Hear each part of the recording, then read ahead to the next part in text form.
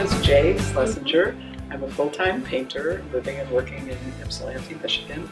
And I've been working in oils um, for the past five years. So the, the themes that I've been working with lately are loosely titled The Common Object. Um, I look at items that are in my immediate surroundings and I find things that captivate me for one reason or another. So I, I like to work with shopping bags, packaging, boxes, uh, food items, um, things that have a sense of whimsy sometime or have some other larger, more symbolic meaning.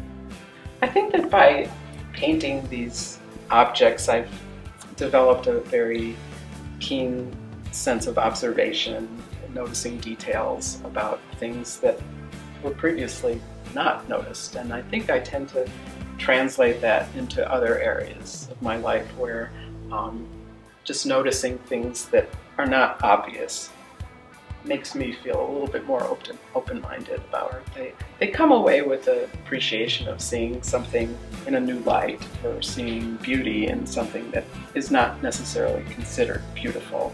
Um, and I also hope that they can find some personal association with the objects. Um, I always like hearing stories that um, my paintings might provoke in people, reminiscences or just associations that they have in their lives. I hope that people feel a sense of connection.